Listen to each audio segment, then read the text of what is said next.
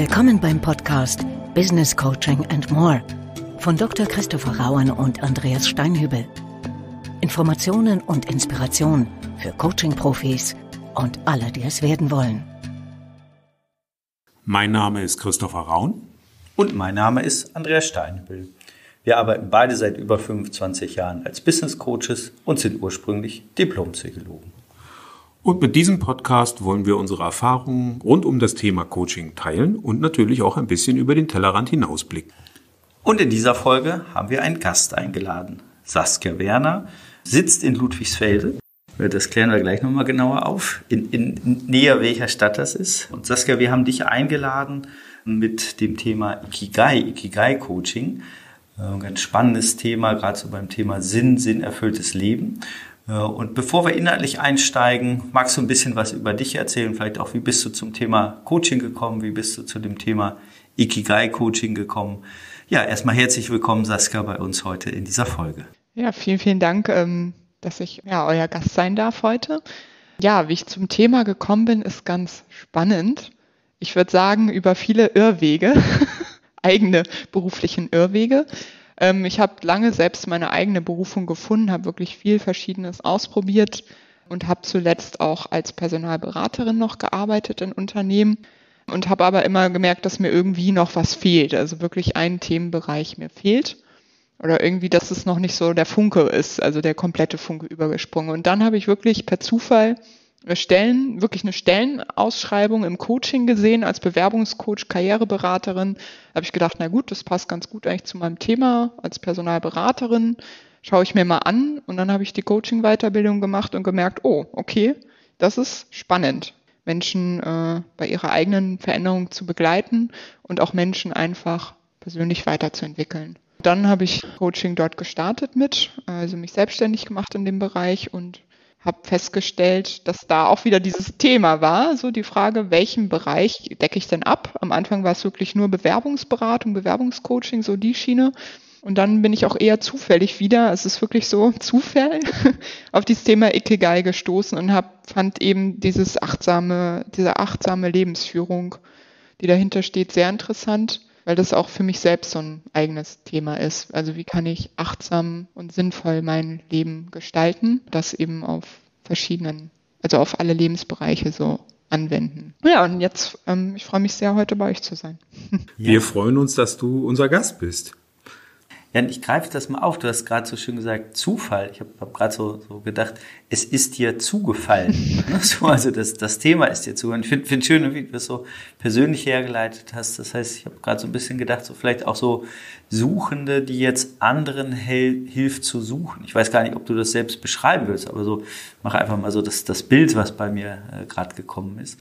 Saskia, du hast dich einer bestimmten Methodik, eines bestimmten Konzeptes verschrieben, eben, eben diesem Ikigai. Vielleicht magst du uns ein bisschen was zu dem Hintergrund davon erzählen. Ja, mir ist das in der Tat wirklich auch zugefallen. Also dieses Ikigai-Konzept, wie gesagt, also Ikigai heißt eigentlich so gut wie das, wofür es sich lohnt, morgens aufzustehen, also übersetzt. Und das ist eigentlich wirklich eine japanische Lebensphilosophie des achtsamen Lebens, des Lebens im Moment und der Freude auch an den kleinen Dingen. Und da gibt es aber eben das Modell, was ganz oft verwendet wird in dem Zusammenhang, dass eben die verschiedenen Komponente von Passion, Mission, Beruf und Berufung vereint. Ja, und das wende ich eben in meinem Coaching an und lasse das Ganze, habe das noch ergänzt über die Werte, weil ich finde, wenn man seine eigenen Werte eben in Einklang mit diesen vier Komponenten bringt, dann ist es doch eine solide Basis so. für das eigene Leben, das sinnvoll zu gestalten. Ja, und du hast daraus dann eben deinen Ansatz entwickelt, eben dieses Ikigai-Coaching. Gibt es zu dem Thema, weil du das gerade so erwähnt hast, auch so eine Verbindung zum Thema Achtsamkeit, weil das auch auf englischer Mindfulness auch momentan ja auch ein sehr, sehr spannendes Thema für viele Menschen ist? Ja, also zum Teil ja. Ich würde sagen, also andersrum, mein Ansatz Coaching ist auch genau der, dass ich Menschen eben dabei unterstütze, ihre Berufung zu finden. Ich sage es jetzt mal so ganz platt, meine es aber ganz tief. Ich möchte Menschen dabei begleiten, dass sie wirklich langfristig was finden, eine Tätigkeit finden, die sie erfüllt. Also ein, ein Tätigkeitsfeld, wo sie wirken können und wo sie für sich selbst wirksam sein können, aber eben auch für andere. Und ähm, für mich ist das eben mit der Ikigai-Methode dadurch sehr gut abgedeckt, aber eben auch, ja, es hat diesen achtsamen Aspekt natürlich drin, ja. Mhm. Jetzt hast du gerade so die, die verschiedenen Aspekte einmal benannt. Lass uns da ruhig, ruhig einmal so ins Modell erstmal auch ein bisschen eintauchen, weil ich weiß, dass die Hörerschaft oft auch so an, an Modellen erstmal interessiert ist. Vielleicht magst du so zu den einzelnen Punkten so ein bisschen noch was, was äh, benennen, dass, äh, dass jeder das auch nochmal so vielleicht so fast als bildliches Modell sieht. Also Passion, Mission, Beruf, Berufung, äh, Werte, Ergänzung und da, dass wir dann äh, vielleicht auch mal so in ein, zwei Praxisfälle eintauchen. Aber wie, wie ich frage mal ganz, äh, ganz simpel, wie, wie geht Ikigai? Ja, gute Frage. Ähm, ich würde sagen, Ikigai, erstmal geht Ikigai für jeden anders weil jeder Mensch sehr individuell ist und dadurch ist sein Ikigai auch komplett anders. Ja, bei den Komponenten ist es so, zum Beispiel bei Passion, zur Komponente Passion ist es so die Frage, die man sich stellen kann oder die ihr, liebe Zuhörer, euch stellen könnt, die Frage, was kann ich gut und was liebe ich? Also die Mischung aus eurem, eurer Fähigkeit und eurem Talent. Und bei, dem, bei der Mission ist es die Kombination aus, was liebe ich und was braucht die Welt? Also dieser, die Kombination aus eurem Talent und dem, was ihr der Gesellschaft geben könnt. Dann haben wir noch die Komponente Berufung. Das ist die Kombination aus, wofür würden andere Personen mich entlohnen und was braucht die Welt wieder? Eine erwerbsorientierte Tätigkeit und der gesellschaftliche Mehrwert. Und dann eben noch die Komponente Beruf. Also was kann ich gut und wofür würden andere Personen mich entlohnen? Ähm, und das alles zusammen basiert auf euren Werten oder auf den Werten, die jeder mitbringt, ähm, ergibt das Ikigai. Das ist sozusagen, wenn man so will, die Idealvorstellung von dem eigenen Selbst auf diese vier Bereiche gemünzt. Das heißt, du versuchst so eine Schnittmenge zu finden aus diesen Bereichen, die du gerade erwähnt hast.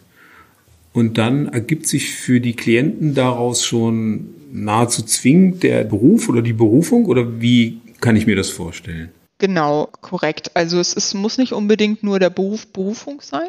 Genau, also es ist die größtmögliche Schnittmenge in allen, aus allen diesen vier Komponenten, weil das sozusagen so ein bisschen der Leitstern des, des, des jeweiligen ist, des jeweiligen Menschen ist, der ihn durchzieht. Ich unterstütze ja bei der beruflichen Neuorientierung, deshalb, mein, deshalb ist mein Fokus auch die Berufung daraus zu ziehen, also berufliche Perspektiven zu erörtern und die herauszustellen. Aber es kann, Ikigai kann man eben auch im Privaten finden. Also es kann auch sein, wenn jemand jetzt so als Beispiel super gerne zeichnet oder Comic zeichnet, und da super kreativ unterwegs ist, kann das eben auch sein Ikigai sein, zum Beispiel. Jetzt mal jetzt so ganz, ganz einfach formuliert. Also es muss nicht im beruflichen unbedingt nur sein. Oder wenn jemand gerne Menschen unterstützt, ehrenamtlich oder beim Lesen unterstützt, ich weiß es nicht, so die Schiene, das kann auch für den einen das Ikigai sein. Also es geht nicht ausschließlich um Erwerb, sondern es geht um, auch um Tätigkeit grundsätzlicher Art und Weise, in der man eine gewisse Erfüllung, eine gewisse Sinnerfüllung findet, wenn ich es richtig verstanden habe. Mhm, korrekt, ja. Genau. Magst du uns vielleicht mal so ein, zwei Beispiele nennen? Vielleicht einmal so mehr beruflich und einmal mehr privat? Vielleicht auch so mit ein paar Fallstricken, die damit verbunden waren? Weil ich stelle mir jetzt zum Beispiel die Situation vor, dass es wahrscheinlich gar nicht so selten vorkommt, dass Menschen zu dir kommen und sagen, ich weiß gar nicht, was ich wirklich gut kann. Genau, ja, das, äh, ja, das habe ich recht oft. Also als berufliches Beispiel hatte ich eine Klientin, sie war zahnmedizinische Fachangestellte, kam zu mir in die Praxis und äh, eben auch dieses, ich bin jetzt 40 und ich weiß gar nicht, was ich, in welche Richtung es gehen kann bei mir beruflich. Ich weiß nur, dass ich dort, wo ich jetzt bin, falsch bin. Dann haben wir die Ikigai-Methode angewandt und dann hat sie festgestellt, also so das Ergebnis war, dass sie sich mehr gesellschaftlich engagieren möchte, also dass sie ehrenamtlich mit Migrantinnen beschäftigt und sie bei der Einbürgerung in Deutschland unterstützt, dass sie gleichzeitig auch ihren Traum verfolgt, aber das ist eher im Privaten, irgendwann als Speakerin auf der großen Bühne zu stehen. Das ist für sie persönlich eine sehr große Hürde, weil sie eben auch erkrankt war, also auch eine körperliche Krankheit hat, äh, die ihr das eben auch grundsätzlich schwer zugänglich gemacht hat. Das fand ich persönlich, hat mich das wirklich sehr berührt, ähm, diese Entwicklung zu sehen und mit ihr mitzudurchleben und dieses Ergebnis einfach zu sehen. Vielleicht magst du noch mal so, äh, so auch beschreiben, also fast so, ich mach's mal bewusst, so fast rein technisch. Wie funktioniert das? Also triffst du dich mehrmals, äh, stellst du die offenen Fragen? Also einfach, dass, dass wir noch so, wir tun mal so, wir wären dabei, wir wären Mäuschen äh, in, in, in eurer Praxis. Äh, und was, was, würd, was würden wir sehen? Was, was, was tust du? ja, gute Frage. Bei ihr war das, ich mache es jetzt mal anhand von ihr ganz konkret, weil grundsätzlich ist immer sehr individuell, wen ich vor mir habe. Aber bei ihr war es so, dass ich in die erste Session in der Tat mit einer Visualisierung gestartet bin. Also ich habe ganz schöne Bildchen, also so Bilder von der Natur, aber eher gezeichnete Bilder, also keine echten. Da habe ich eine, ich sag mal, bunte Kollektion mir zusammengestellt.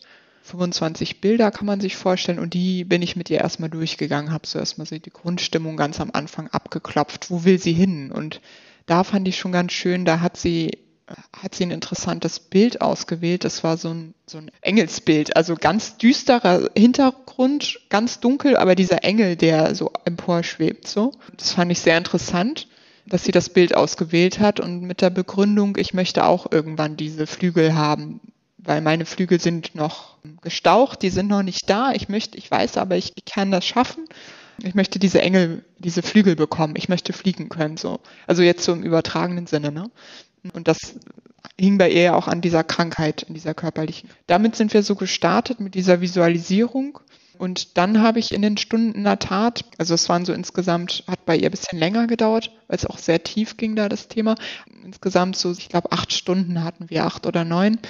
Also ich sag mal so pro Session, pro Komponente vom Ikigai-Modell, also Passion, Mission, Beruf, Berufung und Werte. Werte hatten wir, glaube ich, zwei Stunden, hatten wir jeweils eine Stunde pro Komponente gemacht da habe ich ganz unterschiedlich viel mit systemischen Fragen natürlich gearbeitet, auch viel mit, mit der Adlerperspektive, also dieses, was würde jetzt der Adler tun in deinem Fall, ne? oder wo siehst du dich in Zukunft, wo stehst du gerade aktuell, also die klassischen, wirklich systemischen Fragen so aus dem Coaching genutzt, ähm, aber auch zum Teil ein bisschen Medien, sage ich mal, aus dem Concept Board. Concept Board ist sozusagen so ein Tool, wo man so schöne Grafiken auch erstellen kann ähm, und auch wo man so ein bisschen Brainstorming machen kann. Und das habe ich auch viel verwendet bei ihrem Prozess, weil ich das Gefühl hatte, dass sie immer dieses, wenn sie ein Wort gesehen hat, dass es so weitere Impulse auch bei ihr hervorgebracht hat. So. Hm. Und so der gesamte Prozess, bis du jetzt so alle vier beziehungsweise fünf Komponenten durchgegangen bist von dem Modell, was, was ist da so ein Erfahrungswert? Dauert das eine Woche, dauert das einen Monat, dauert das ein halbes Jahr? Was, was ist da so das gängigste Modell bei dir? Bei mir ist es so, also dadurch, dass ich das immer einmal die Woche anbiete, so am Freitag meine Coachings, habe ich das, bei ihr hat es jetzt zwei bis drei Monate gedauert. Ich würde auch sagen, dass das realistisch ist. Wenn es nur, ich sag mal, Ikigai-Coaching, ja, dann ist das machbar. Das ist ja auch ein guter Zeitraum für viele Klientinnen und Klienten, das bestimmt auch so sacken zu lassen und, und weiterzudenken und innerlich auch zu verarbeiten. Das geht ja nicht ich sage immer, äh, neun Frauen kriegen ja ein Kind auch nicht in einem Monat. Ähm, das geht dann auch nicht schneller. Es gibt Prozesse, die kann man nicht gut parallelisieren. Genau, ja, korrekt. Also das genau das Thema auch. Ähm, man kann natürlich alles hintereinander und wegmachen. Meine Erfahrung ist da, dass so zwei bis drei Wochen Zeitabstand, je nach Intensität des Themas auch oder der Komponente, dass es das auch braucht. Weil manchmal sind es wirklich Entdeckungen für den Klienten oder auch bei ihr war das so, die dann erstmal wirklich sacken müssen, weil das so ein bisschen wirklich die Perspektive des Lebens, also wirklich verschiebt so. Genau, das ist ja schon ein sehr starker Veränderungswunsch, den du da begleitet hast. Hast du da manchmal Sorgen um deine Klientinnen und Klienten? Ja, habe ich weil ich mich manchmal dann frage, wie weit ich ähm, berechtigt bin, in das Leben von jemand Fremden so weit einzugreifen, vor allem wenn ich sehe, dass es so wirksam ist oder wirksam sein kann. Vor allem auch, weil ich dann denke, wie wirkt sich das jetzt aufs Umfeld positiv und negativ aus? Weil meine Erfahrung ist auch, dass ähm, manchmal das Umfeld sich natürlich mit der Person mit verändert, also positiv oder negativ. Ne? Ja, ich meine, jemand, der seine Passion gefunden hat und der davon auch überzeugt ist und das dann auch durchzieht, das fällt ja schon auf im, im bisherigen System. Und manchmal fällt es positiv auf, aber wahrscheinlich auch nicht immer. es verunsichert, ist mein Gefühl. Also bei ihr war das auch so, es verunsichert, kann sehr stark das bestehende System verunsichern. Bei ihr war das im Job so, dass ihre Kollegen ein bisschen Abstand von ihr genommen haben, aber auch weil sie selbst wirklich selbstbewusster geworden ist dadurch und klarer auch ihre Grenzen kommunizieren konnte dadurch. Das ist bei den Kollegen eher negativ aufgefallen. also für sie selbst war es sehr positiv, hat sie mir gesagt, aber für Kollegen vor Ort natürlich nicht so, weil sie dann mit, ja, irgendwie erstmal wieder mit dieser neuen Person oder veränderten Person irgendwie klarkommen mussten und das nach langer Zeit, die sie dort war im Unternehmen. Genau, aber in ihrer eigenen Beziehung wiederum, das fand ich ganz interessant, hat sie mir erzählt, dass ihr Partner sie ganz anders, also anders wahrnimmt und anders behandelt. Dass sie auch viele Dinge für sich selbst einfach klarer hat und dadurch klarer ansprechen kann beschreibst das sehr, sehr, ähm, ich sag mal bewusst behutsam bedächtig, was, äh, was ich sehr, sehr wichtig auch finde, weil ich glaube, gerade bei der Methode äh, ist sicherlich die, diese Grundcoaching-Haltung wichtig, dass ich für mich als Klientin etwas finde und du sozusagen in der unterstützenden, begleitenden Rolle bist, weil ich mir auch vorstellen kann, dass das eine Methode ist, die erstmal einladen könnte, äh, auch zu denken, ach ja, ich weiß doch genau, was gut für dich ist. so. Gibt so Momente, wo, wo du, ich, ich sag mal bewusst so kollegial, wo, wo du dich dabei erwischt, wo du sagst, Mensch, komm, wie, wieso biegt die nicht links ab, wieso macht die nicht endlich ihren äh, ihre Pommesbude auf oder was auch immer. Äh, äh, oder wie, also so, so ernsthaft professionell gefragt, wie, wie gelingt es dir sozusagen, also dran zu sein und trotzdem so diese Neutralität, Allparteilichkeit und Offenheit herzustellen. Das stelle ich mir gar nicht ganz einfach vor. Ich bin mir, also ich sag mal, ich bin mir dessen komplett bewusst, was ich als Coach auch also wie ich wirken kann bei meinem Gegenüber und dass ich wirken kann und auch, dass das eben enorme Veränderungen für System haben kann. Ähm, und dadurch ist es für mich auch, also es ist, also ich sehe es als meine eigene Verantwortung als Coach, als professioneller Coach, mein Gegenüber nicht zu manipulieren. Weil das könnte ich natürlich, aber das sehe ich eben nicht als meine Aufgabe, sondern meine Aufgabe ist es, das Gegenüber, also meinen Klienten, bestmöglich zu unterstützen, in ihrem oder seinem Veränderungsprozess. Und das kann ich nur, indem ich 100 Prozent auch meine Aufmerksamkeit beim Gegenüber bin und eben meine eigenen Gedanken in dem Moment. Und natürlich kommen die hoch, manchmal, wenn ich denke, okay, wieso macht sie jetzt nicht das oder das? Das kommt hoch, sicher, auf jeden Fall. Aber in dem Moment, dass ich, also mir fällt, ich bin in dem Prozess schon eher auch in so einer Adlerperspektive mit drin. Also im Coaching, wenn ich merke, dass ich zu subjektiv gerade werde oder Werte in meinem Kopf versuche ich mich eben selbst zurückzureißen dann und zu sagen, nee, Saskia, ne, das ist jetzt hier nicht dein Part, das muss sie lösen und ähm, ne, denk dran so. Also versuche mich da rauszuziehen. Ja, ich finde find das, also bin ganz dankbar, dass du das so, so beschreibst, weil wir, wir haben ja sozusagen, ich sag mal, ne, neben der inhaltlichen ähm, Facette gerade haben, haben wir sicherlich auch in, in unserem Podcast immer den Anspruch, so ein bisschen, also fast ein bisschen aufklärerisch auch zu sein. Ne? Also wenn, wenn jetzt sozusagen das Interesse geweckt wird, dass jemand sagt, ah, bin, bin interessiert an beruflichen Veränderungen und bin interessiert am, am Ikigai-Coaching, da eben bewusst auch zu gucken, dass es eben niemanden gibt, der, ähm, der sozusagen in meine Seele rein äh, mechanikt, ne? so, sondern äh, mir, mir eine Unterstützung anbietet, so wie, wie du es auch beschreibst, ne? sowohl von der Haltung, äh, aber auch vom, äh, vom Vorgehen. Ich mag noch mal in eine andere Frage kurz abbiegen wenn wir so einmal uns vorstellen, du, jetzt hast du ja eine Klientin gerade beschrieben, die sozusagen aus sich heraus auch diesen Veränderungswunsch empfindet. Kommen denn auch Menschen zu dir, die in einer bestehenden Beschäftigung sind, wo die sagen, eigentlich möchte ich da bleiben, ich brauche vielleicht eher eine Varianz dessen? Oder erlebst du eher äh, Klientinnen, die, die wirklich also fast eine radikalere Veränderung wollen? Mein Eindruck ist schon, oft bei meinen Klienten, dass sie eher radikalere Veränderungen wünschen.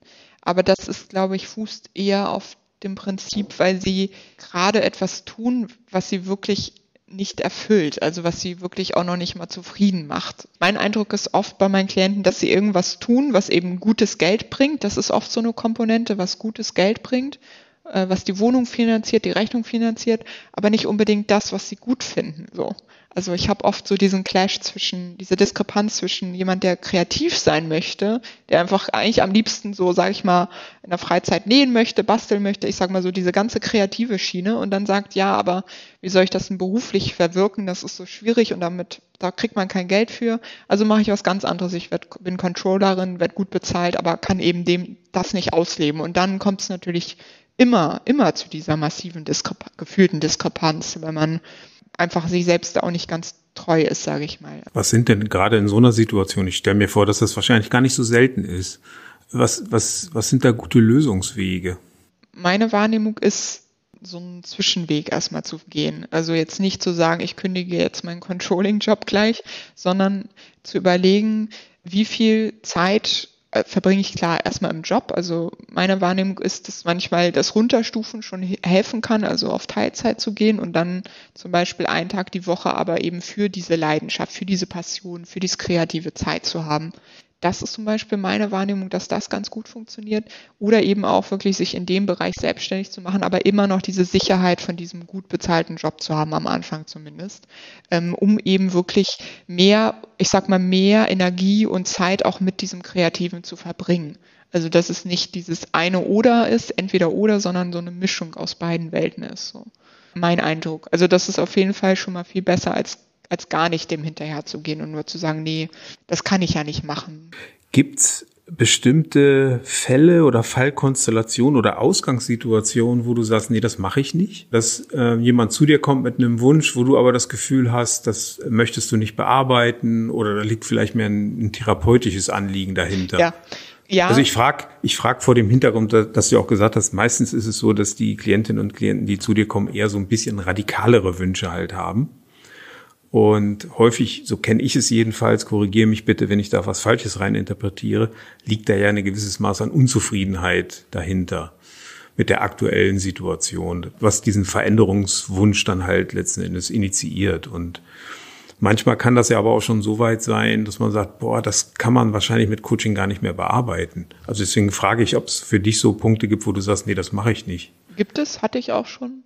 Bei mir war das sogar witzigerweise oder auch nicht witzigerweise, aber irgendwie fand ich schon witzig im Nachhinein, wenn ich darüber nachdenke, war das mein allererster Klient. Ähm, genau so ein Fall, wo ich, ich sag mal, den, den ersten zwei, drei Stunden das Gefühl hatte, dass ich nicht wirksam sein kann mit Coaching bei ihm. Und das habe ich meinem Klienten aber auch ganz klar gespiegelt und gesagt, also nach, weil wie gesagt, ich war ganz jung am Anfang damit, habe gedacht, gut, vielleicht habe ich jetzt schlechte Fragen gestellt oder vielleicht ist irgendwas anderes noch.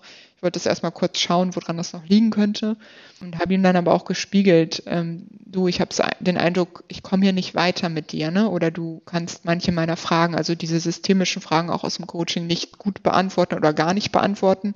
Und das war so ein bisschen für mich auch so ein Marker, dass da irgendwas wirklich tiefergründiges vorliegen muss. Und das hat er dann selbst, also das war sozusagen eher, er hat selbst festgestellt durch diese paar Sessions mit mir, dass er auch eher ähm, eine Psychotherapie braucht und die hat er dann auch gestartet. Hm. Es ist, finde ich, ist so ein schwieriges Thema, weil mein Eindruck ist auch im Coaching, dass das zugenommen hat. Also dass ähm, viele Klienten, die zu mir kommen, haben öfters mal auch so ein psychotherapeutisches Thema, also wirklich ein tiefengründiges Thema.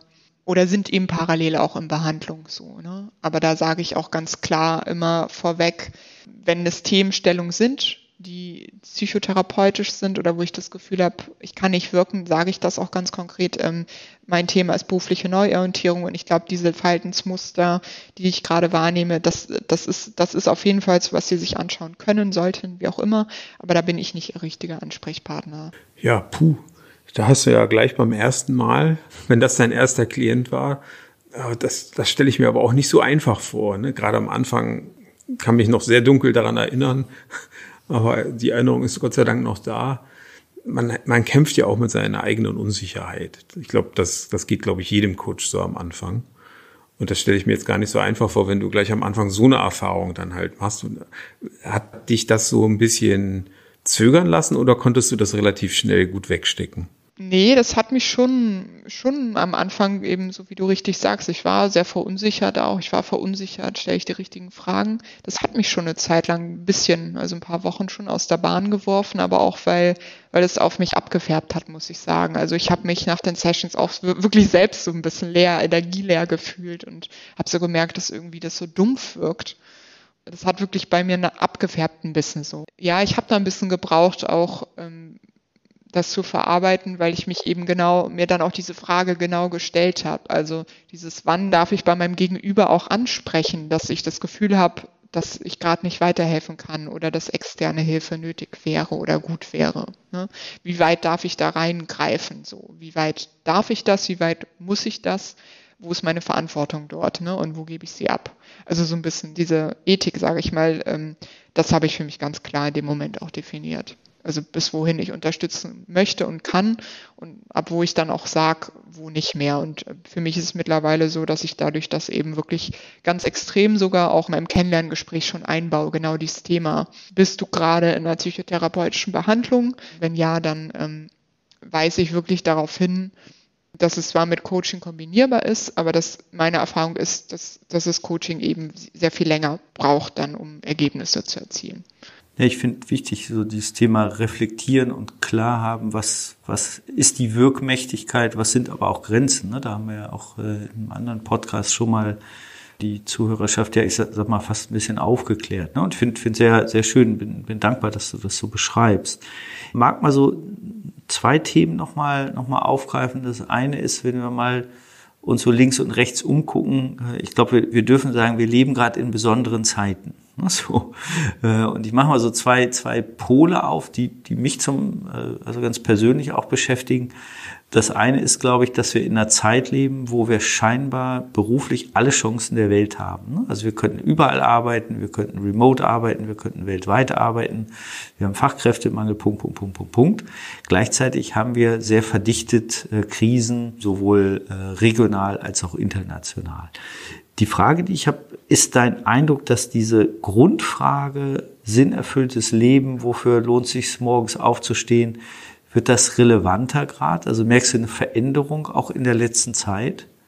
Mein Eindruck ist schon, also in meinen Coaching-Sessions selbst, also von meinen Klienten genau das, das schon. Also dass viele Menschen oder viele Klienten zurzeit wirklich verunsichert sind vom, vom Arbeitsmarkt. Also eben, wie du auch beschreibst, von den schieren unendlichen Möglichkeiten, die es gibt, aber auch verunsichert eben zum Beispiel, ich sage jetzt mal ganz konkret von, von Homeoffice. Also Homeoffice ist schön und gut, aber es bringt eben auch diese Einsamkeit für manche mit rein, dieses Thema Einsamkeit, das vorher nie da gewesen ist, wenn man 80 Prozent remote arbeitet.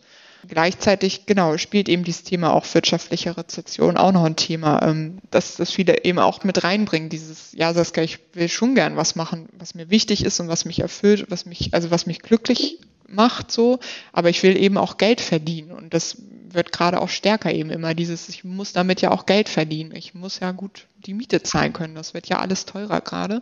Das spielt da schon mit rein. Also ich habe schon den Eindruck, dass die Klienten gerade sehr verunsichert auch sind. Und dann eben auch noch wirklich dieses Thema psychische Erkrankungen haben auch zugenommen. Und das ist, ich muss das wirklich so sagen, das ist wirklich auch mein Eigendruck. Also ich würde sagen, jeder zweite oder dritte Klient, den ich habe, ist auch parallel manchmal noch in einer psychotherapeutischen Behandlung. Und ich, mein Eindruck ist, dass es wirklich viel ist. Also ja, da hat sich, hat sich einiges verdichtet, einiges getan. Ne? So, erstmal danke fürs, fürs Beschreiben.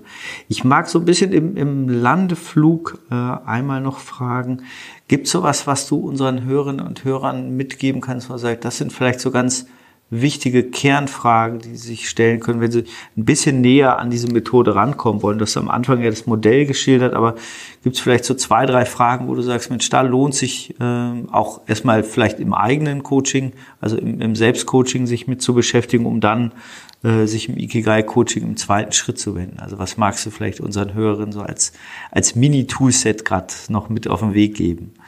Ähm, ja, gerne. Also ich finde die Frage ganz schön, ähm, bei welchen Themen setzt ihr euch für andere Menschen ein? Macht euch stark? Auch die Frage, ähm, die ist ein bisschen pathetisch, aber ich mag sie trotzdem sehr. Dieses, ähm, wie wollt ihr die Welt verlassen? Also was sollen andere Menschen über euch sagen, wenn ihr nicht mehr da seid? Ja, Saskia, dann erstmal vielen Dank für den Einblick in deine Arbeit und alles, was damit zu tun hat und auch die, die Untiefen, die natürlich auch immer in solchen ja, Aufgaben drinstecken können. Und damit sind wir auch für dieses Mal wieder am Ende dieser Folge angekommen. Also wie gesagt, nochmal vielen Dank, dass du unser Gast warst, dass wir den Einblick hatten in das Thema Ikigai-Coaching. Und ähm, wir wünschen dir weiter viel Erfolg mit dem Konzept. Und ich glaube, Nachfrage gibt es sicherlich genug. vielen, vielen Dank. Ich habe zu danken. Viel, viel Erfolg äh, weiter in dir, Saskia Werner. Und jetzt muss er aber noch aufklären, wie weit ist das entfernt, wo du wohnst? Von Berlin. So. Ludwigsfelde. Wie weit ist das weg? Und tatsächlich, tatsächlich auch, auch die Frage, arbeitest du regional oder wenn man interessiert ist, kann, kann man auch remote mit dir arbeiten, wenn, wenn du das noch so als letztes kurz reingibst? Ja, äh, ich bin recht dicht an Berlin dran, aber immer noch weit genug weg, also 30 Kilometer südlich von Berlin. Und ja, ich arbeite rein online. Hab nochmal ganz herzliches äh, Dankeschön in deine Richtung, liebe Hörerschaft. Wir wünschen Ihnen natürlich äh, ein gutes, erfülltes Leben, so dass sich immer lohnt, äh, abends ins Bett zu gehen, aber vor allen Dingen morgens wieder aufzustehen. Eine ganz gute Zeit. Also bis dahin. Auf Wiederhören. Sie hörten den Podcast Business Coaching and More. Wenn es Ihnen gefallen hat und Sie die kommende Ausgabe nicht versäumen möchten, abonnieren Sie bitte den Podcast. Auf Wiederhören.